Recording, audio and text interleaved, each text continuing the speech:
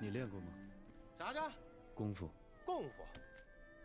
哎，说真的，小时候俺算练过两年，但是啊，跟你一样，心不静。